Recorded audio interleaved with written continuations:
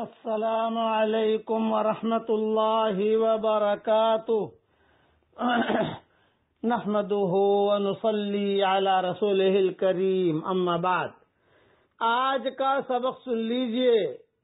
آج کے سبق کی سرخی ہے کہ حضرت محمد صلی اللہ علیہ وسلم کو ایک جنات پریشان کرتا تھا۔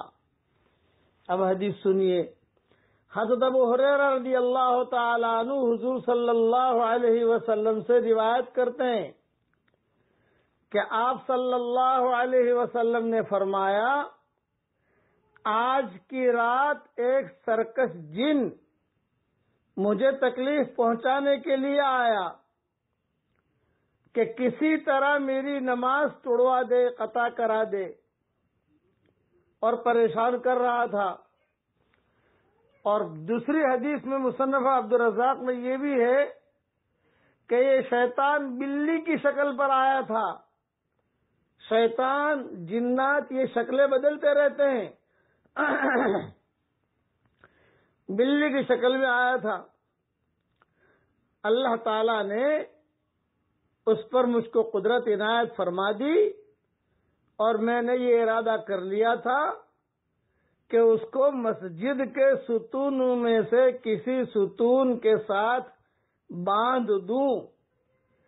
یہاں تک کہ صبح کو تم سب کے سب اس جنات کو اور اس شیطان کو اپنی آنکھوں سے دیکھ لو۔ لیکن پھر مجھے اپنے بھائی سلیمان علیہ السلام کی یہ دعا یاد آ گئی۔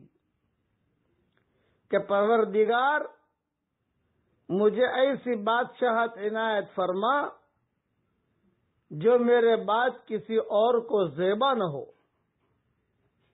تو روح، ایک حدیث کے راوی ہے ان کا نام تھا روح۔ وہ کہتے ہیں کہ اس وجہ سے حضور صلی اللہ علیہ وسلم نے اپنے ارادے کو چھوڑ دیا، ترک کر دیا اور اس کے مقصد میں اس کو ناکام واپس کر دیا۔ یعنی وہ حضور صلی اللہ علیہ وسلم کو تکلیف نہیں پہنچا سکا، بلکہ حضور صلی اللہ علیہ وسلم نے حضرت سلیمان علیہ السلام کی دعا کا احترام کیا۔ اور یہ کہہ کر اس کو واپس کر دیا کہ جا واپس کرتا ہوں تجھے، ورنہ میں تجھے باندھ دیتا۔ اور باندھ کر جو ہے سب کو بتا دیا کہ دیکھو یہ جنات ہے بلی کی شکل میں آیا تھا، دوسری کتابوں میں یہ قصہ بخاری شریف میں ہے۔ اس لیے ہر عالم دوسرے عالم کا احترام کرے ہر جماعت والے دوسری جماعت والوں کا احترام کرے ہر پارٹی والے دوسری پارٹی والوں کا احترام کرے یہ استمباد ہے کہ حضور صلی اللہ علیہ وسلم ہر نبی دوسرے نبی کا احترام کرتا تھا کوئی نبی بھی کسی نبی کو برا نہیں کہے گا یا اس کی بات کی کاٹ نہیں کرے گا اس کے معجزہ کا بھی احترام کرے گا اور اس نبی کا بھی احترام کرے گا۔ ہر نبی ایک دوسرے کا میرا سب ہر نبی دوسرے نبی کے، حالانکہ ان کی شریعتیں منسوخ ہو چکی ہیں کہ وہ احکامات کئی منسوخ ہو چکے، لیکن احترام اپنی جگہ پر، اسی اسی لیے ہر ساتھی اپنے دوسرے ساتھی کا احترام کرے۔ ہر جماعت والا اپنے دوسری جماعت والے کا احترام کرے، مسلمان ہے اس لیے مسلمان مسلمان کا احترام ضرور کرے گا۔ اللہ تعالی ہم سب کو عمل کرنے کے لیے کی توفیق عطا فرمائے۔ عقل مند کے لیے اشارہ کافی ہے۔ میں نے اشارہ کر دیا کہ ہمیشہ یاد رکھنا، تبلیغ جو ہوتی ہے وہ مذہب کی ہوتی ہے، مشرب کی نہیں ہوتی۔ کہ تبلیغ مذہب کی ہوتی ہے۔ مشرب کی نہیں تو خانقاہ والا بن جا۔ اور تو جو ہے یہ بن جا، یہ بن جا، یہاں آ جا، یہ اس کی تبلیغ نہیں ہوتی، تبلیغ مذہب کی ہوتی ہے۔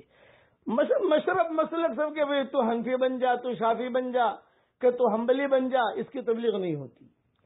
تبلیغ مذہب کی ہوگی، لا الہ الا اللہ محمد رسول اللہ صلی اللہ علیہ وسلم کی ہوگی۔ اور ایک دوسرے کا احترام کریں گے۔ بخاری شریف میں یہ حدیث ہے کہ حضور صلی اللہ علیہ وسلم نے سلیمان علیہ السلام کی دعا کی وجہ سے کہ سلیمان علیہ السلام نے دعا مانگی تھی۔ میں اس کا جو ہے، اس لیے میں اس کو باندھتا نہیں ہوں۔ اس پر قابو پا لیا اور اس کو چھوڑ دیا۔ اس لیے ان چیزوں کا خاص خیال رکھنا چاہیے۔ اب پڑھیے میرے ساتھ۔ اللہ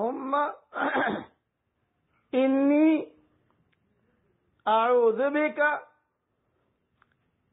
من دیق الدنیا ومن دیق یوم القیامہ۔ حضور صلی اللہ علیہ وسلم دعا پڑھا کرتے تھے۔ میری کتاب اللہ کی پناہ ہے، اس میں اس کے حوالے موجود ہیں۔ وہ ترجمہ ہی پڑھ لیجیے۔ اے اللہ، دنیا اور آخرت کی تنگیوں سے میری حفاظت فرما۔ علماء نے لکھا ہے، جو یہ دعا مانگتا رہے گا اللہ تعالیٰ دنیا میں اسے تنگی نہیں دے گا، اللہ وسعت دے گا اور آخرت میں بھی وسعت دے گا۔ دنیا کی تنگیوں سے اور آخرت کی تنگیوں سے اللہ حفاظت کرے گا۔ اور یہ جو حدیث میں نے بیان کی، ہر مدرسے والا دوسرے مدرسے کا احترام کرے۔ ہر مسجد والا دوسری مسجد کا احترام کرے۔ ہر جماعت والا دوسری جماعت کا احترام کرے، اکرام کرے۔ یہ اصول ہے۔ اللہ تعالیٰ ہم سب کو عمل کرنے کے توفیق عطا فرمائے۔ آمین۔ السلام علیکم و اللہ۔